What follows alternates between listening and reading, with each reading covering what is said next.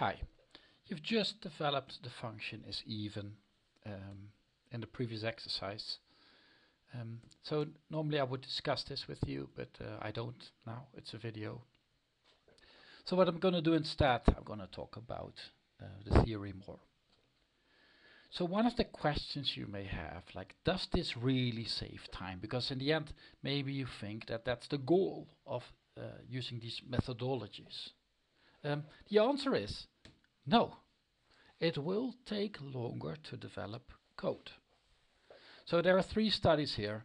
Um, so these are the references, but of course take a look at the original R Markdown file, uh, Q Mark, Quarto Markdown file if you want to see.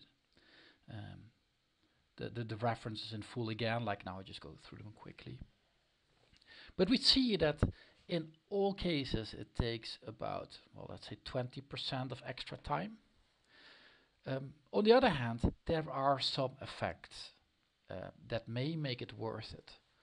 Uh, for example, 20% more tests are passing, twice as much code quality, 50% um, less code defects. So it's not about saving time, it's about getting higher quality code. So why do TDD anyways? It will make you more productive. It increases the quality of your code. So there's three studies here. Um, and there are plenty of costly program mistakes documented. Imagine space shuttles crashing or a Mars lander crashing. Um, but it also helps to shape the architecture of your project, uh, the software architecture in this case. Um, put it into better modules. Uh, and it works great with extreme program and CI. So extreme programming is that you take good practices and take it to the max according to some ideas, of course. Uh, CI is continuous integration. I'll discuss that uh, in the next lesson. So not now, but you'll see it works together great. Another question you may have, like, all right, so I'm writing this function is even, for example, to determine if a number is even.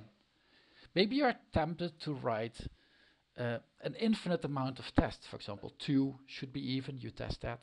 4 is an even number, you test that as well. 6 as well, 8 as well, 10 as well. Maybe you write a for loop in steps of 2 to check if the numbers are even.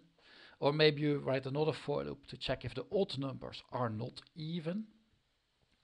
And that is a problem. Like when you discover that there are bugs in your code, and there will be bugs in your code, especially if you're not looking for them, then some people like to write an infinite amount of code as a first initial primal response. Uh, that's a very bad idea. Um, and test-driven development puts an upper limit on this.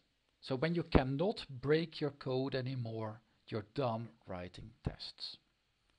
Sometimes you still have bugs in your code. You can't help that, you can't be blamed for that. Um, but in that case, someone can um, say, hey, if I run this code, I, I expect this test to pass, this test fails, and then shares this with you so you can add it. Maybe in your GitHub repository, maybe with a pull request or those fancy techniques I'll discuss later. Um, so that's the upper limit of the amount of tests. Sometimes it feels too little, let's say like one, two, three tests to uh, determine if a function is, for example, is is correct.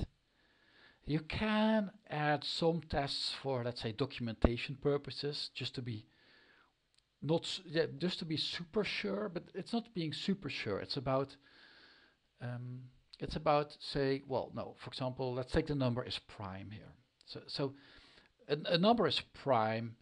Uh, for, for that has some kind of requirements. For example, zero is not prime, one is not prime, and these are already exceptions. Minus one is not prime. That's an exception already. So you could write, and probably there's one if statement that covers all these three cases.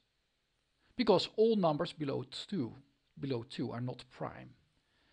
So you can get away with writing one test.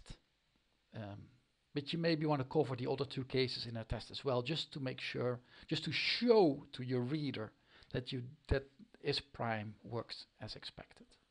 And so that's more for documenting purposes, not as in putting it in your documentation. You can do that as well, but Python doesn't run example code, R does. So in R that's a good place to put that in your documentation as test cases that you show to the user. Um, but the general rule should be until you cannot break your code anymore.